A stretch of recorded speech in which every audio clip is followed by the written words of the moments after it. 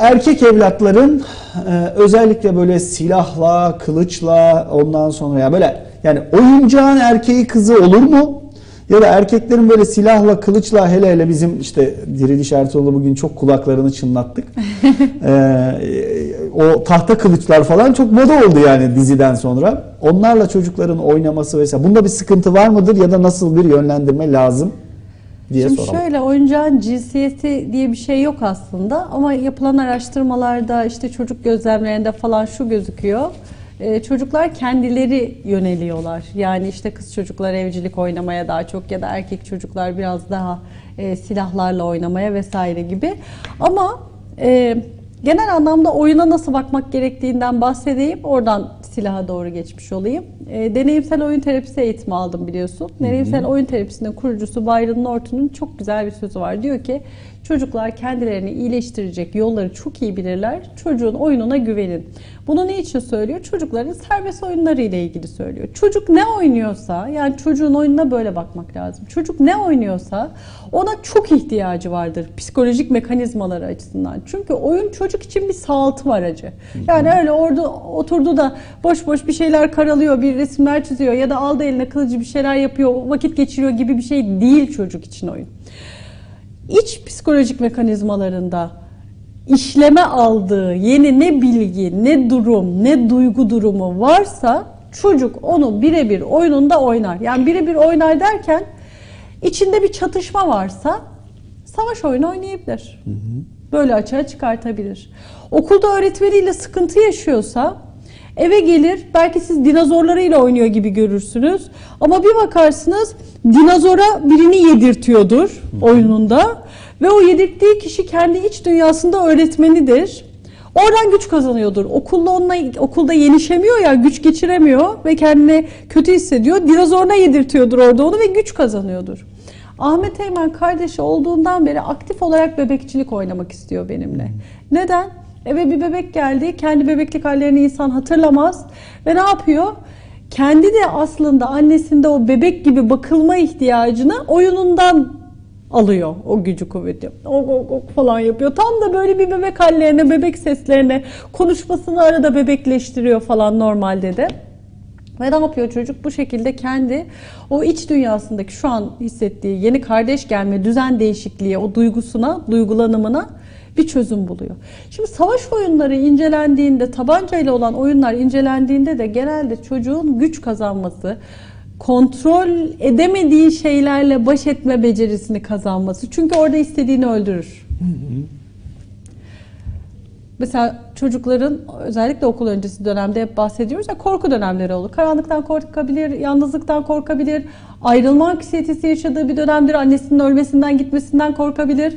Oyununda o silahla dan dan dan diye neye ateş ediyorsa ateş ettiği şeyde güç ondadır. Kontrol ondadır. İstediği şeyi öldürebiliyor bir haldedir. Ve çocuk aslında orada yaşadığı anneden ayrılma anksiyetesiyle belki o oyunda baş ediyordur. Baş ediyordur. Yani savaş oyununda ay bu çocuk elde tabanca aldı ya da elde tabanca yaptı savaş oyunu oynuyor. Eyvah bu çocuk anarşist mi olacak? Değil yani. Hı hı. Orada kendi psikolojik mekanizmaları için yönettiği bir süreç var. Çocuğun her oyununa böyle bakacağız. Ve bakmakla birlikte çocuğun o oyununa eşlik edip destekleyeceğiz. Nasıl? Çocuk döndü sana dan dan dan dedi. Sen de ah falan diye böyle abartılı bir biçimde öleceksin orada. Çünkü bilmiyorsun bak çocuk orada seni öldürerek neyle baş ediyor. Evet. Ama ona iyi gelecek bir şey olduğuna güven. Çocuğun oyununa güven. Yap böyle bir şey. Ondan sonra ne olacak? Çocuk orada alacağı şeyi alacak. E bu ne zaman bitecek? Bu hep böyle hayır. Göreceksiniz ki çocuklar o oyundan alması gereken ihtiyaç bittiği zaman belki yıllar sürer kimi oyunlar. Çünkü çocuk hala iç dünyasında o dengeyi sağlayamamıştır. Ne zamanki sağlar, ne zamanki tamam olur oyun biçimini değiştirir çocuk. Hmm. Oyun terapilerinde de buna bakılıyor biliyor musun?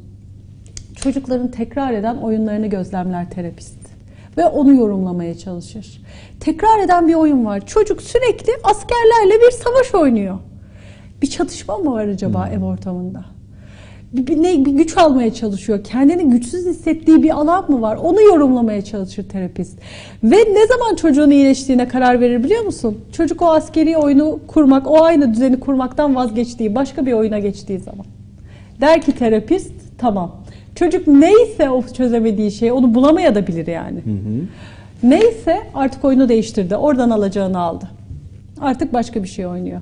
Bunu illaki terapi odalarında deneyimlememize gerek yok. Her ev bir terapi odası aslında. Evet. Yeter ki bilinçli ebeveynler olalım ve çocuğun oyununa şu an bak gidiyorsun bir terapiste en adı duyulmamışa gitsen 200-250 liradan başlıyor bir terapi. Sen evini bıraksan işi gücü şöyle çocuğuna o gözle baksan, çocuğun o doğal oynadığı aktif oyununa eşlik etsen, yönetmeye çalışmasan aslında çocuk terapi olacak zaten. Problemleri büyümeyecek. En çok biliyor musun ebeveynler olarak onu yanlış yapıyoruz belki. Çok karışıyoruz çocuğun oyununa. Çocuk legolardan bir şey yap. O öyle takılmaz böyle takılır. Takılır. Çocuk mesela annesinin üstüne oyuncak bir örümcek atıyor. İstiyor ki orada anne ay desin korksun ay örümcek örümcek falan yapsın. Çünkü atmasının sebebi nedir? Budur yani bunu görmek istiyor çocuk. Anne de ay ben çok severim örümceği falan diyor mesela. ne oldu? Bozdun sistemi bozdun yapma. Ya da çocuk satranç oynuyorsun. Bak başka bir örnek. Kutu oyunu. Satranç oynuyorsun. Çocuk çaktırmadan böyle bir şeyin yerini değiştiriyor. Hemen anne diyor ki hayır öyle yapmayacaksın. Bu oyunun kuralı böyle. E ne yapalım? Şimdi hile yapmaya mı alıştıralım? Hayır bak şunu de. Görüyorum ki bugün satrançı kendi kurallarına göre oynamak istiyorsun. Peki bakalım hadi o fil yedi bakalım beni. Hemen çocuğa adapte ol. Yani Hileye alıştırmak değil bu. Orada çünkü çocuk seni yenerek belki güç kazanmaya ihtiyacı var. Belki okulda bir arkadaşı onu itiştirdi, bir şey oldu, çok güçsüz hissetti kendini. Geldi eve o satrançta seni yenip güç kazanacak o çocuk. Bazı şeyleri biraz görmezden gel yani. Oyuna bu gözle bakmak gerekiyor. O yüzden savaş oyunlarında da ay çocuklar anarşist mi olacak, ay bu şiddeti arttırıyor mu? Hayır arttırmaz. Aksine sağaltır.